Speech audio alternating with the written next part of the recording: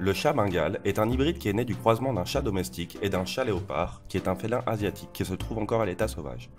C'est pour cette raison que beaucoup de personnes se demandent de nos jours si le chat bengale est un félin sauvage ou non. Vous voulez tout savoir sur le chat bengale? Découvrez les réponses à vos questions sur cette nouvelle vidéo de Planète Animale.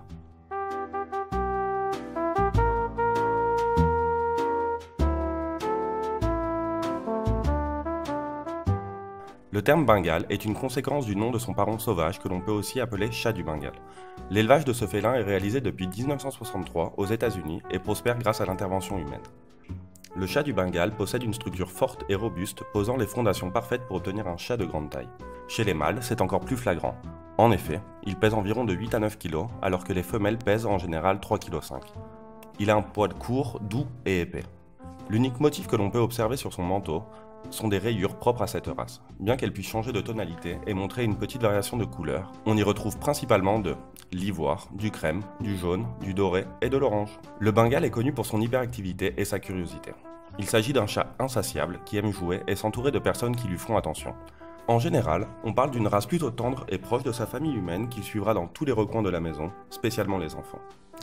C'est un chat qui s'entendra super bien avec ses congénères ainsi qu'avec vos autres animaux de compagnie, tels que les furets ou les chiens. Il est important que vous vous rappeliez que chaque spécimen possède sa propre personnalité, et que cette dernière sera principalement marquée par la génétique, par ses expériences vécues et par le processus de socialisation.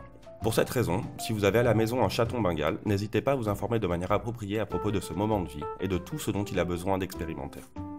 Les soins que doit recevoir un chat bengal sont plutôt simples et faciles à mettre en place. Il faudra faire spécialement attention au brossage du chat, particulièrement durant sa période de mue il faudra que vous assuriez de bien retirer toute la saleté et les poils morts. En effet, leur accumulation peut provoquer une obstruction intestinale s'ils sont ingérés car ils auront tendance à former des petites boules de poils.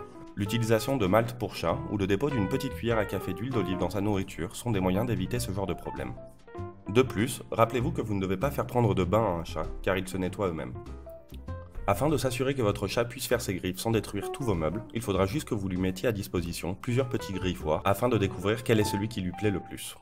Il faudra lui dédier au moins une demi-heure par jour pour jouer avec lui, ainsi que lui mettre à disposition des jouets stimulant son intelligence. L'alimentation du Bengale influe directement sur la qualité et la santé de son poil.